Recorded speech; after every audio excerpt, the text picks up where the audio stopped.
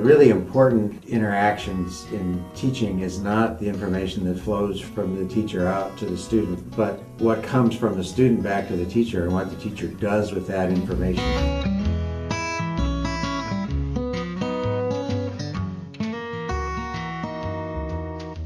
Okay, I mentioned at the beginning, that was the real motivation behind doing this project in the first place, right, was to to build a system that would that would both produce the best science teachers we could, but also a laboratory where we could continue to think about and and improve our pre-service program. And so, a big part of, of our work has been reforming.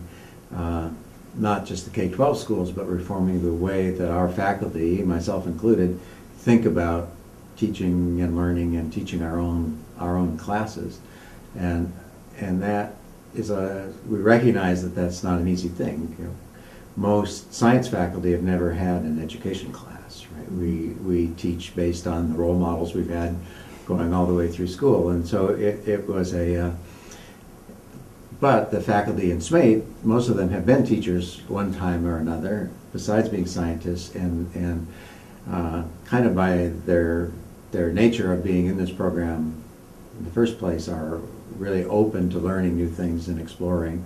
Community college faculty were a little bit different, and that's why it took a couple of years for to get everybody pointed in the same direction. But but once we we taught together in the summer academies and spent the time uh, exploring, talking to our, our students, and really uh, seeing the effects we were having, we were able to, to, to, really change the thinking of the of all of us as faculty, community college and Western faculty about teaching. A lot of times you think, well, we're going to, university's going to get a project to go out and save the schools, and, and so my vision was that the way we save the schools is by making ourselves better and producing, you know, good teachers for the long run for teaching science. I really like the inquiry based learning rather than just teaching straight out of the book. I think being hands on and getting your students motivated and excited to learn and having them discover the big ideas on their own and investigating those ideas is a lot more effective than just strictly teaching and lecturing and telling them the answers. So I definitely would like to use that as well. And I think through my practice previous practicums over the last year and teaching science in my internship right now, I've been able to use bits and pieces of that, and they it seems a lot more effective. And my students were engaged the whole time, and in all the science lessons, they really enjoyed it.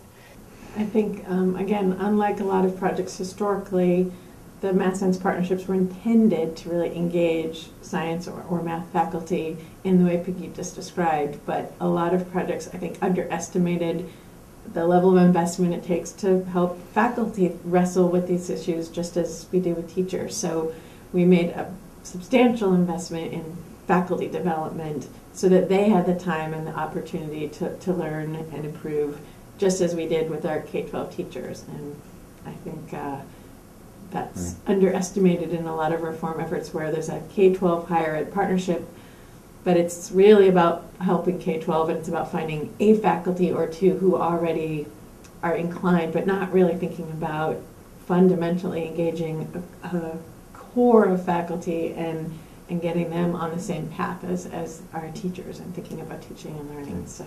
And I, I would have to say that part of what has been so ple- pleasing for me is that you know, I've kind of been going on a rise for 20 years and trying stuff, and I, I've always been a teacher who I've always been very interested in um, the practice of teaching. Okay, so I have these students. I've always tried to figure out. I got to know a little bit about where they're at in order to hook them.